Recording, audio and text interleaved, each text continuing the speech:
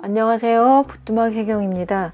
오늘은 가지를 준비해 봤습니다. 가지 가지고 여러 가지 예로, 어, 요리가 있는데 저는 그냥 기본적인 가지찜을 한번 해 보겠습니다. 두 개를 준비해 왔어요. 2등분해서 또 4등분 하겠습니다. 이렇게 자른 걸 렌즈용 냄비에 넣어 가지고 어, 찹쌀가루 크게 한 스푼 넣어서 5분 정도 쪄주겠습니다. 이게 찹쌀가루를 넣으면 어, 가지는 찌면 이렇게 물기가 막 수분이 나와가지고 어떨 때 양념이 좀 싱겁다 싶은 생각도 있고 질척질척 하기도 하잖아요. 근데 찹쌀가루를 넣으면 그 나오는 수분을 이렇게 딱 가지고 있어서 먹기에도 편하고 좋습니다. 이게 찹쌀가루가 그 쫀득쫀득한 식감이 싫으시면 그냥 찌셔도 됩니다. 자체에 수분이 나오기 때문에 이렇게 골고루 섞어 가지고 5분만 돌리겠습니다.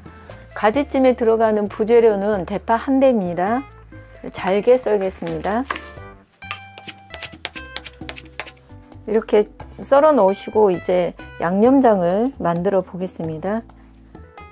들어가는 양념은 진간장 두 개, 간장 한 큰술입니다. 맛술 하나, 다진 마늘 반 키, 참기름, 고춧가루 크게 한 스푼이에요. 마지막으로 조청 하나입니다. 양념이 어우러지면 아까 썰어 놓은 대파, 매콤한 거 좋아하시면 청양고추 넣으셔도 됩니다. 5분 찐 거예요. 여기서 조금 살캉살캉한데 이게 싫으면 완전히 익은 걸 좋아하시면 1분 어, 정도 더 찌셔도 돼요. 저는 5분 쪘습니다. 양념이 가지에 골고루 다 스며들 수 있게 고루고루 섞어주세요. 통깨에 검은깨를 같이 섞었어요.